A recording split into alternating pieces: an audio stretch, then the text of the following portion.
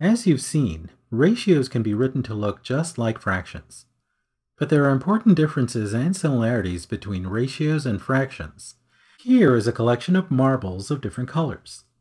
There are blue marbles, red marbles, and yellow and green marbles.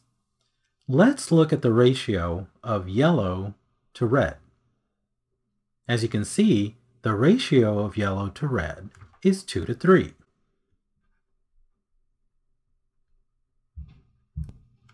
Which can also be written in fraction form, 2 thirds. But this isn't a fraction. It's a part-to-part -part ratio. Part of the marbles are yellow, and part of them are red. The ratio of these two parts is 2 to 3.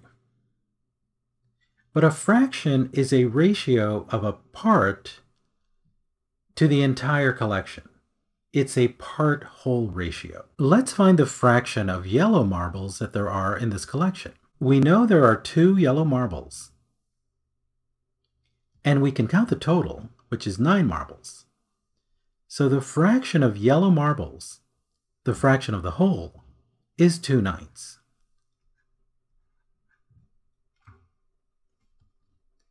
Likewise, the fraction of red marbles is 3 ninths.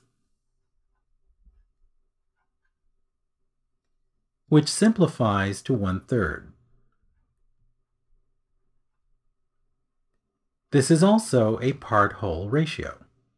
If we divide the fraction of yellow marbles, 2 ninths, by the fraction of red marbles, one third, something interesting results. The calculation involves dividing fractions, which we show here. 2 ninths divided by one third is equal to 2 ninths times the reciprocal of 1 third, or 3 over 1, or simply 3. Simplified, we get 2 thirds. Notice that this is the ratio of yellow to red. So two fractions divided into each other shows the ratio of two items as a part-to-part -part ratio. With some ratios, we can find the fractional amounts they represent. Let's look at an example. In a class, the ratio of boys to girls is 3 to 5. How can you use this to find the fraction of boys and girls in the class? So we know the ratio of boys to girls is 3 to 5. But we also know that these are the only two categories either boys or girls. So we can model the ratios and the fractions. Here are five girls and three boys. The ratio of boys to girls is 3 to 5.